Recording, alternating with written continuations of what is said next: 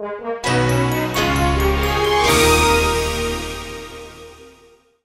everyone and welcome to Ohio Update. I'm Tom Bosco.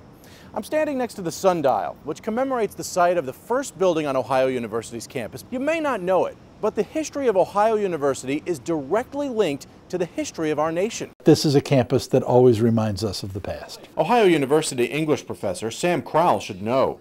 He's been lecturing incoming freshmen for years on Ohio University's place in American history.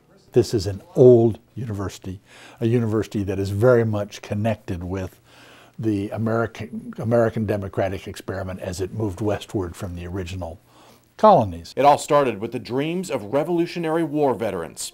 The government promised to pay them, but the vets realized our young country might not be solvent anytime soon. So they gathered in Boston's Bunch of Grapes Tavern and came up with a better idea. Instead of taking payment in money, they would take land west of the Alleghenies known as the Ohio Country. It takes our history right back to the very beginning of the Republic. The very summer that the Constitutional Convention is meeting, there is this probably uh, the most important piece of legislation to emerge in the first 20 years out of our legislature because it allowed for the development of the country.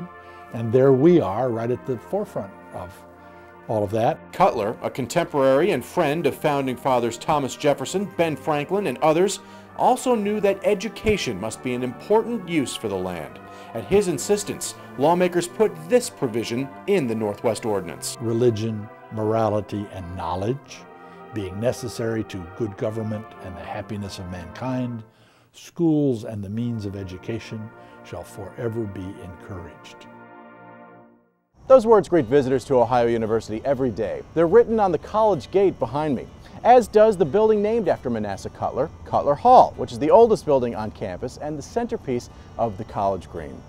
With me now is Betty Hollow, the author of the book Ohio University, A Singular Place, which is, was written for the bicentennial of the university. Yes. You did a lot of research on this. And as you did your research, tell me something that uh, either surprised you or something you didn't know about Ohio University. Well, it surprised me that so many people said, you have to really show how Ohio University is different from other public universities, and they said it is. And when I asked them, what do you mean by that? They would say, well, it's so much more democratic and open than a lot of other public universities are. Well, give me some examples of that, especially how students have been involved. Well, students really do participate at Ohio University, and they always have. For example, in the 1890s, they were responsible for helping to build and maintain the equipment for the first electrical units at the, at the university. Uh, everybody probably knows that they started WOUB and they still run it, uh, WOUB radio and TV every single day, every single night.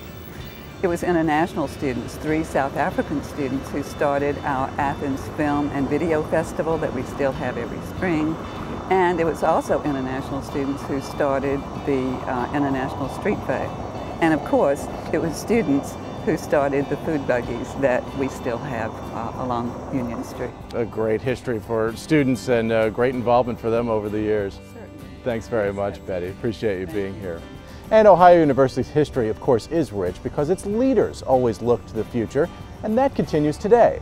Just take a look at the newest tradition on campus, Baker University Center. Baker opened in winter of 2007 and features five floors of space for student activities and offices, as well as an upscale restaurant, a food court, and a new take on an old favorite, the Front Room Coffee House.